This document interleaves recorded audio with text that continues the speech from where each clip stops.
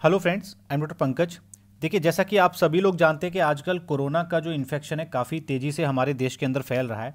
और मुझे रोज़ काफ़ी सारे लोगों के फ़ोन आते हैं कि, सर, हम फ़ोन कंसल्टेशन के लिए फिजिशियन को फ़ोन करते हैं तो उसके लिए भी एक एक दिन की वेटिंग चल रही है। एक एक दो दिन की वेटिंग चल रही है और जहाँ तक बेड और ऑक्सीजन का सवाल है तो वो तो आप जानते हैं उनकी कितनी भारी कमी है हमारे देश के अंदर। पूरा हेल्थ इंफ्रास्ट्रक्चर एक तरीके से बोलें तो चरमरा गया है। तो इस वीडियो में हम आ, हम लोग आज ये देखेंगे कि भाई जिनको भी कोरोना का इन्फेक्शन हुआ है उनके ट्रीटमेंट में कुछ इंपॉर्टेंट बातें हैं जो उन मरीजों को ध्यान रखनी चाहिए। और वीडियो शुरू करने से पहले मैं आपको बता देना चाहता हूँ कि ये वीडियो एक एजुकेशनल वीडियो है और अगर आपको कोरोना का इन्फेक्शन हुआ या कोई भी और बीमारी है तो उसमें आप अपना इलाज करने से पहले या कोई दवाई लेने से पहले अपने डॉक्टर से एक बार कंसल्ट ज़रूर कर लें। अपनी मर्ज़ी से कोई भी दवाई ना लें। तो देखिए, सबसे इंपॉर्टेंट चीज़ है आपको कि आपको ये पता होना चाहिए कि आपको जब इन्फेक्शन हुआ तो जो पहला सिम्टम आया था, जो पहला लक्षण आया था बीमारी का, वो दिन कौन सा था? वो डेट आपको अच्छे से याद करनी है। फॉर एग्ज़ाम्पल जैसे एक इंसान को एक तारीख को फीवर आया सॉरी मान के चीजिए एक तारीख को किसी पेशेंट को हेडेक हुआ, सर में दर्द हुआ। अब वो हेडेक उसको दो तीन दिन रहा और उसको जो फीवर है वो चार तारीख को आया। तो चार तारीख को उसको फीवर आया। बट अक्सर होता क्या है कि मरीज़ जब हमारे पास आते हैं तो बोलते हैं कि, सर, मुझे जो पहला फीवर आया है, वो चार तारीख को आया वो हमें ये बताते ही नहीं कि उसको तीन दिन से हेडेक था। तो यहाँ पे जो उसका पहला डे है ना, वो तो एक तारीख था, ना कि चार तारीख, क्योंकि उस उस पेशेंट को एक तारीख से ही हेडेक शुरू हो गया था। तो यहाँ पे आपको पहला जो दिन है ना, वो सिम्टम का, जो लक्षण, जिस दिन पहला लक्षण आया था, वो बहुत ज़रूरी है, क्योंकि कोरोना के ट्रीटमेंट में डेज़ का बहुत बड़ा खेल है। हो क्या रहा है कि ये जो नया वायरस है ना इसके लिए एक से तीन दिन और तीन से पाँच दिन, ये बहुत इंपॉर्टेंट है, क्योंकि ये एक से तीन दिन में करता है बॉडी के अंदर सिस्टेमिक इन्फ्लामेशन मतलब कि आपकी बॉडी के अंदर एक इन्फ्लामेशन शुरू हो जाएगी। और तीन से पाँच दिन में, पाँच दिन के आसपास ये करता है thrombo inflammation thrombo inflammation means कि आपकी बॉडी में जो आर्ट जो ब्लड वेसल्स हैं या जो धमनियाँ हैं, उनके अंदर जो ब्लड है ना, उसका थक्का बनना शुरू हो जाएगा, वो जम जाएगा। और इसी से ये एक मृत्यु का बहुत बड़ा कारण है और जो इन, जो पेशेंट के जो फेफड़े खराब होते हैं, उसके लिए भी यही मेन रिस्पॉन्सिबल चीज़ है। तो इसमें अगर आप डे डॉक्टर को अच्छे से बताएँगे तो उनके लिए आसान हो जाता है समझ पाना कि कब क्या ट्रीटमेंट शुरू करना है तो वो कम इन्वेस्टिगेशन में भी आपका ट्रीटमेंट कर देते हैं। तो होता क्या है कि एक्चुअली आजकल मुझे तो इतने फ़ोन आए हैं कि अब अब तो सर सीआरपी जो टेस्ट है, जो पहले इतनी आसानी से हो जा रहा था, उसके भी केमिकल्स की कमी आने लगी है और वो भी एक एक दो दो दिन के बाद हो रहा है। क्योंकि इतनी ज़्यादा तादाद में इन्फेक्शन हुआ है ना कि हमारे जो रिसोर्सेज हैं वो कम हो रहे हैं। तो यहाँ पर क्लिनिकल डेटा भी बहुत इंपॉर्टेंट हो जाता है। तो आपको याद रखना है कि पहला दिन सिम्टम का क्या था।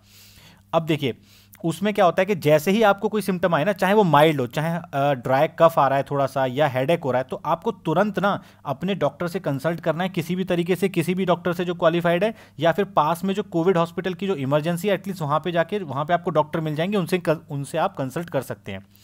अब कुछ चीज़ें हैं इंपॉर्टेंट समझना कि कौन कौन से सिम्टम है। देखिए फीवर आता है फीवर तो आपको आराम से पता लग जाएगा। कभी क्या कभी कभी क्या होता है पेशेंट को बहुत ही लाइट कफ होता है, उसको वो इग्नोर करता है। सोचता है कि कल एसी में सो गए थे या फिर ठंडा पानी पी लिया था, इसलिए ऐसा नहीं करना। कफ है तो है, आपको डॉक्टर को बताना है। फिर शॉर्टनेस ऑफ़ ब्रीथ मतलब कि सांस लेने में दिक्कत होती है इंसान को। तो ये तो बहुत ही आसानी से इंसान समझ जाता है कि आज मुझे सांस लेने में दिक्कत हो रही है। फैटिक ये एक इंपॉर्टेंट है। कभी कभी लोगों को थकान होती है और वो इसको इग्नोर करते हैं, जबकि ये डिज़ीज़ का पहला सिम्टम होता है। तो ये बात आपको याद रखनी है। एक और कॉमन चीज़ है, एक होता है कि शरीर में लोग बोलते हैं, सर, हमें शरीर में दर्द है, जिसको हम लोग बॉडी एक बोलते हैं। तो अगर आपकी मसल्स में दर्द है या शरीर में दर्द है तो ये भी एक इंपॉर्टेंट लक्षण है कोरोना का। इसको याद रखें, इसको इग्नोर ना करें। केवल ऐसा ही नहीं होता कि फीवर ही मेन सिम्टम होता है। उसके बाद हेडेक हेडेक बहुत इंपॉर्टेंट सिम्टम है, इसको भी याद रखना है, किस दिन से हेडेक आपको शुरू हुआ। नेक्स्ट नेक्स्ट है आपका loss of taste and smell sensation ये भी बहुत इंपॉर्टेंट है। उसके बाद सोर थ्रोट हो सकता है। उसके बाद आपकी जो रनी नोज़ हो सकती है मतलब जिसको आप जुकाम बोलते हैं, नाक से पानी निकलना, फिर उससे उल्टी आना या उल्टी के जैसा फीलिंग होना, वो भी इंपॉर्टेंट है, और डायरिया डायरिया का भी डायरिया को भी इग्नोर मत कीजिएगा। कुछ लोग समझते हैं कि, भाई, हमने कुछ बाहर का खा लिया, कुछ उल्टा पुल्टा खा लिया तो डायरिया हुआ है। आज की तारीख में अगर किसी भी पेशेंट को डायरिया होता है तो उसको हम लोग सबसे पहले यही समझेंगे कि उसको कोविड हुआ है। अगर उसकी कोविड की रिपोर्ट निगेटिव आती है, फिर दूसरी चीज़ है, पर कोविड ही मान के चलना है आज की तारीख में। तो देखिए, सबसे इंपॉर्टेंट चीज़ क्या है कि भाई कुछ ऐसे टेस्ट हैं जो कि बहुत इंपॉर्टेंट होते हैं शुरू के डेज़ में इनिशियल डेज़ में। उसमें हम लोग इवन मैं नहीं, सारे डॉक्टर्स ही इस बात से एग्री करते हैं कि जो सीआरपी जो एक टेस्ट है, ये काफ़ी इंपॉर्टेंट टेस्ट है। क्योंकि देखिए, और आजकल हम लोग क्या करते हैं कि जैसे ही पेशेंट हमको बोलता है ना सिम्टम आया, हम उसका डे वन डे टू और डे थ्री पे लगातार सीआरपी कराते हैं डेली सीआरपी का हम लोग। कराते हैं टेस्ट। इवन हम उसके बाद भी अगर पेशेंट ठीक नहीं होता तो बाद में भी सीआरपी कराते हैं। खासतौर से जब तक सीआरपी 10 से कम ना हो जाए। अगर सीआरपी 10 से कम है तो डरने की बात थोड़ी कम है। ऐसे तो normal value less than five होती है, पर स्टिल अगर 10 से कम है तो उतना दिक्कत नहीं होती बट अगर सीआरपी की वैल्यू 10 से अगर ज़्यादा है, फिर तो बिल्कुल हमें देखना पड़ता है कि इस पेशेंट को कैसे ट्रीट किया जाए, क्योंकि हर चीज़ का एक क्राइटेरिया है। उसके बाद एक एक और इंपॉर्टेंट टेस्ट है सीबीसी सीबीसी भी बहुत इंपॉर्टेंट टेस्ट है। इसमें आपके प्लेटलेट जो प्लेटलेट काउंट है, वो पता लग जाता है। इसमें आपका कंप्लीट ब्लड काउंट जिसको टीएलसी बोलते हैं, वो मालूम हो जाता है। अगर टीएलसी रेज है तो हो सकता है इन्फेक्शन हो सकता है। इवन कोविड के पेशेंट में देखा जा रहा है कि टोटल काउंट जो टीएलसी काउंट है आपका, वो ऐसे भी थोड़ा रेज आ ही रहा है। उसके बाद आपका random blood sugar blood sugar बहुत इंपॉर्टेंट है, क्योंकि कोविड के इन्फेक्शन में देखा जा रहा है कि जो आपकी ब्लड जो शुगर है वो बढ़ ही जा रही है काफ़ी पेशेंट की और कुछ तो पहले से ही डायबिटिक होते हैं। मैं तो काफ़ी सारे पेशेंट देख रहा हूँ जिनका ब्लड शुगर तीन सौ 400 इस तरीके से आता है, उनको पता ही नहीं होता। और उसके बाद है आपका कोविड का आर टी टेस्ट। देखिए, आर टी टेस्ट होने में आजकल लगभग दो से तीन दिन लग जा रहे हैं। तो आपको आर टी टेस्ट के लिए वेट नहीं करना है। अपने डॉक्टर से मिलना है, वो आपका सीआरपी टेस्ट सबसे पहले करवाएँगे सीबीसी और आरबी और आरबीएस और आर टी टेस्ट भेज दिया जाएगा। बट उसके अगर आरटीपीसीआर टेस्ट लेट आता है तो उसमें आपका ट्रीटमेंट डिले नहीं किया जाएगा। मैं एक ऐसे पेशेंट को जानता हूँ, उन्होंने मुझे फ़ोन किया था। मैंने उनको बोला कि आप अभी ही, क्योंकि उनका सीआरपी थोड़ा सा मैं उनसे बोला था, आप सीआरपी टेस्ट करा लो बट वो कराने को तैयार नहीं थे। उन्होंने बोला कि, सर, हमारी पहले आरटीपीसीआर की जो रिपोर्ट आ जाएगी, तब हम देखेंगे। उनको लग रहा था कि उनकी आरटीपीसीआर की जो जो रिपोर्ट है निगेटिव आएगी। फाइनली उन्होंने इस चक्कर में तीन से चार दिन निकाल दिए। उसके बाद जब उनकी आरटीपीसीआर की रिपोर्ट आई, वो पॉजिटिव निकली और तब तक उनकी हालत काफ़ी ख़राब हो चुकी थी। तो अगर वो डे वन से ही हमारी बात मान लेते तो शायद उनके साथ ये नौबत नहीं आती। तो सीआरपी जो है आज के टाइम में एक सिंगल सबसे इंपॉर्टेंट टेस्ट है, जो कि हेल्प करता है ट्रीटमेंट को स्टार्ट करने में। तो इसीलिए मेरी सबसे रिक्वेस्ट है कि वो लोग वेट ना करें आरटीपीसीआर के टेस्ट के रिज़ल्ट के लिए या एचआरसीटी के लिए। जल्दी अपने डॉक्टर से के पास जाके उनसे कंसल्ट करें और कोविड का ट्रीटमेंट शुरू करा लें।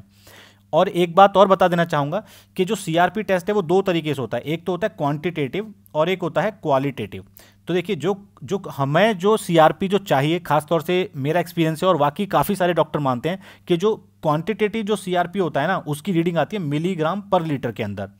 तो ये जो क्वांटिटेटिव सीआरपी है, हमें यही टेस्ट चाहिए होता है। एक होता है क्वालिटेटिव तो क्वालिटेटिव में जो जो रीडिंग आती है वो आती है पॉजिटिव या निगेटिव करके। वो टेस्ट उतना फ़ायदे का नहीं है। हमें चाहिए होता है क्वांटिटेटिव जिसमें कि वैल्यू नंबर्स में आती है like eight milligram per litre तो तो इसीलिए हम देखते हैं कि अगर किसी का दस से ज़्यादा है तो उसको मैं थोड़ा सा सीरियस मानता हूँ। हालाँकि देखिए सीआरपी का एक एक बेसिक क्राइटेरिया वो लोग आ, आप लोग के मतलब वो डॉक्टर्स के लिए ज़्यादा इंपॉर्टेंट है बट आप लोग ये मान के चलिए कि हमें सीआरपी टेस्ट चाहिए और मिलीग्राम पर लीटर वाला क्वांटिटेटिव टेस्ट चाहिए। उसके बाद सबसे इंपॉर्टेंट है जो पेशेंट के जो अटेंडेंट होते हैं, उनको एक काम करना है कि उन्हें हर चार से छः घंटे पेशेंट की मॉनिटरिंग करनी है किस चीज़ की? वाइटल्स की। अब हमारे काफ़ी सारे व्यूअर्स को नहीं पता होगा कि वाइटल्स क्या होते हैं। तो वाइटल्स का मतलब होता है मेडिकल साइंस में कि आपको जो बेसिक जो पैरामीटर्स हैं, वो पेशेंट के नोट करने हैं। जैसे कि आजकल मैं बोलूँ वाइटल का मतलब तो एस हो गया, जिसको आप पल्स ऑक्सीमीटर से मेज़र करते हैं। उसके बाद हो गया आपका टेम्परेचर इसको थर्मामीटर से आप देख सकते हैं, आराम से सबके पास होता है। फिर रेस्पिरेटरी रेट रेस्पिरेटरी रेट अगर किसी को देखना नहीं आता तो मेरे चैनल पर जाके कोविड सीरीज़ करके एक प्लेलिस्ट है, इसके सारे वीडियो देख लीजिए, आपको समझ में आ जाएगा। अभी मैं बता देता हूँ, जैसे किसी पेशेंट की चेस्ट है चेस्ट के पास में आप अपना मोबाइल फ़ोन या घड़ी रख लीजिए, और देखिए एक मिनट में उसकी चेस्ट कितना नीचे जाती है और कितना ऊपर आती है। तो एक बार नीचे आना और एक बार ऊपर जाना, इसको हम लोग एक काउंट करते हैं। नॉर्मल हेल्दी पेशेंट के अंदर ये जो होती है, लगभग मान के चलिए चौदह से अठारह के बीच में होती है। और अगर किसी पेशेंट को सस्पेक्टेड कोविड है और उसकी रेस्पिरेटरी रेट चौबीस से ज़्यादा है, फिर तो वो बहुत ही एक अलार्मिंग साइन होता है। तो रेस्पिरेटरी रेट भी आपको मेज़र करनी है, फिर ब्लड प्रेशर ब्लड प्रेशर का इंस्ट्रूमेंट अगर नहीं है, जो आपका जो आता है तो उसको मार्केट से ख़रीद लीजिए। उसके बाद पल्स रेट पल्स रेट आप ऐसे भी नाप सकते हैं और बाकी जो एस का जो पल्स ऑक्सीमीटर होता है, उसमें भी दिखाई देती है। और उसके बाद आता है यूरिन आउटपुट अब आप बोलेंगे, सर, हम यूरिन आउटपुट कैसे नापेंगे? तो देखिए, आप बस पेशेंट से एक बात पूछे कि आप जैसे पहले नॉर्मली यूरिन जाते थे, क्या वैसा यूरिन आपको आ रहा है? उतनी बार आप, या उतनी क्वांटिटी में यूरिन आ रहा है? हर आदमी को पता होता है कि मैं भाई मैं पूरे दिन में कितनी बार यूरिन जाता हूँ, एक आइडिया रहता है तो बता देगा कि नहीं, मुझे लग रहा है कि यूरिन कम आ रहा है, क्योंकि यूरिन कम आना भी एक अलार्मिंग साइन है। उसके बाद सबसे इंपॉर्टेंट चीज़ है कि आजकल जो डॉक्टर्स है या बहुत सारे डॉक्टर टेलीफोनिक कंसल्टेशन कर रहे हैं मतलब कि फ़ोन पे। तो हम लोग उनको व्हाट्सएप पे अपना डेटा भेजते हैं।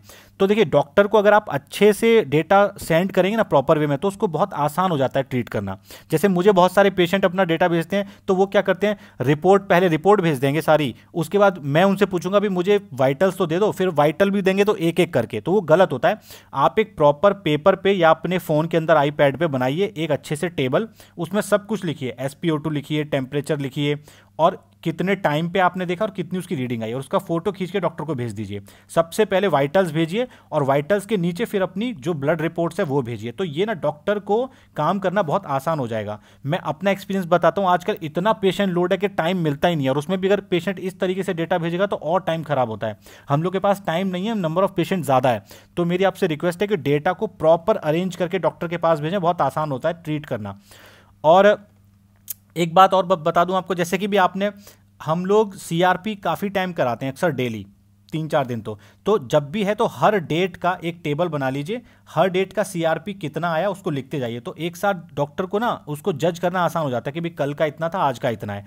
अब पेशेंट क्या होता है, अपनी एक रिपोर्ट भेज देगा, उसके बाद अगली रिपोर्ट बाद में भेजेगा तो उसको व्हाट्सएप पर ढूंढ पाना ना काफ़ी कठिन हो जाता है। तो आप अपना जो डेटा है उसको प्रॉपरली अरेंज करके डॉक्टर को भेजिए। एक और इंपॉर्टेंट चीज़ मैंने देखी, मुझे काफ़ी सारे पेशेंट के ट्रीटमेंट फ़ोन आते हैं। वो एक्चुअली होम्योपैथिक भी ट्रीटमेंट ले रहे हैं, वो आयुर्वेदिक भी ट्रीटमेंट ले रहे हैं और अब वो एलोपैथिक ट्रीटमेंट भी लेना चाहते हैं। तो मैं आपसे बोलूँगा कि प्लीज़ इतने सारे ट्रीटमेंट को मिक्स मत कीजिए। बहुत सारी दवाइयों के साइड इफ़ेक्ट होते हैं। तो अगर आपको इन सब ट्रीटमेंट को मिक्स करना भी है तो आप अपने डॉक्टर से प्लीज़ सलाह लेके ही कीजिएगा। अपने से ऐसा ना हो कि आप एलोपैथी का ट्रीटमेंट ले रहे हैं और अपने से ही आपने अपने पेशेंट को कुछ आयुर्वेदिक मेडिसिन दे दी। हो सकता है उसका वो काफ़ी इंटरेक्शन कर जाए, दो दवाइयाँ आसपास में, आपस में और आपके पेशेंट को दिक्कत होता है आपके पेशेंट को दिक्कत हो जाए। और इंपॉर्टेंट चीज़ क्या है कि जब आप किसी डॉक्टर से ट्रीटमेंट ले रहे हैं तो उस पर प्लीज़ ट्रस्ट कीजिए। दस जगह, दस तरीके के डॉक्टर्स को फ़ोन करके आप ना तो खुद पैनिक होइए, ना दूसरे को कीजिए।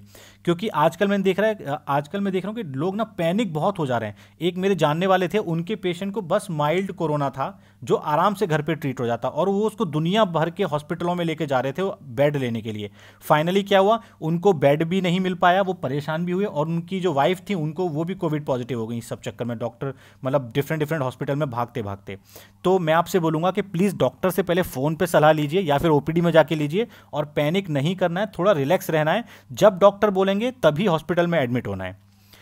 और एक चीज़ और इंपॉर्टेंट मैं देख रहा हूँ कि आजकल ना जैसे ही लोग, कुछ लोग जो पूरी तरीके से इंप्रूव हो जाते हैं, ठीक हो जाते हैं, खुद से ही दवाइयाँ छोड़ देते हैं। मैं ऐसे दो तीन लोग को जानता हूँ तो खुद से दवाई नहीं छोड़नी है विदाउट डॉक्टर के कंसल्टेशन के विदाउट डॉक्टर से कंसल्ट के दवाई नहीं छोड़नी है।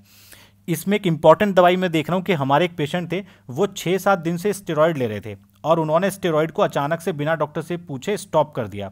अब देखिए स्टेरॉयड जो है ना, सबसे पहले तो आपको पता होना चाहिए कि आप अपनी दवाई चेक कीजिएगा। दवाई के जो पीछे जो रैपर होता है, उस पर दवाई का केमिकल नेम लिखा होता है। तो जो स्टेरॉयड आजकल हम दे रहे हैं, उसमें या तो डेक्सामेथासोन होता है या मिथाइल प्रेडनिसोलोन होता है। तो ये जो स्टेरॉइड्स है ना, इनको एब्रप्टली बंद नहीं किया जाता है अचानक से। इनको डॉक्टर की सलाह में धीरे धीरे इनका डोज कम किया जाता है। फॉर एग्ज़ाम्पल जैसे अभी अभी मैं किसी पेशेंट को छः मिलीग्राम डेक्सामेथासोन दे रहा हूँ तो मैं उसको फिर नेक्स्ट जब मुझे बंद करना होगा तो मैं उसको चार पाँच दिन तक चार मिलीग्राम दूँगा, फिर उसके, फिर चार पाँच दिन बाद उसको दो मिलीग्राम दूँगा, तब बंद करूँगा। तो ये डेक्सामेथासोन को या मिथाइल पेडनिसोलोन जिनको स्टेरॉयड बोलते हैं, उनको बंद करने का एक स्पेशल तरीका होता है, जो कि केवल डॉक्टर के सुपरविजन में होना चाहिए। तो इसको प्लीज़ आप लोग अपने से ना करें। और लास्ट में मेरी आपसे रिक्वेस्ट है कि always always remember prevention is always better than cure आजकल इतनी दिक्कत है, सबसे बेस्ट तरीका है कि आप कोविड का जो इन्फेक्शन है ना, उसको होने ही मत दो। अगर आप कोविड के इन्फेक्शन को होने दोगे तो आप बहुत परेशान हो जाओगे। और अगर आपको ये देखना है कि कोविड के इन्फेक्शन से कैसे बचा जाए तो मेरे प्लेलिस्ट में जाइए। वहाँ पे बहुत सारे वीडियोज़ हैं कोरोना सीरीज़ में। प्लीज़ उनको देख लीजिए। और डबल मास्क यूज़ कीजिए। और डबल मास्क में भी आपका जो अंदर का मास्क है, वो ट्राई कीजिए। एन नाइन्टी मास्क होना चाहिए, क्योंकि कपड़े के मास्क वायरस को उतना नहीं रोक पाते हैं। और आपको प्लास्टिक की फेस शील्ड यूज़ करनी है और सोशल डिस्टेंसिंग का पूरा पालन करना है। तो इस वीडियो को यहीं पर ख़त्म करते हैं। Thanks for watching my video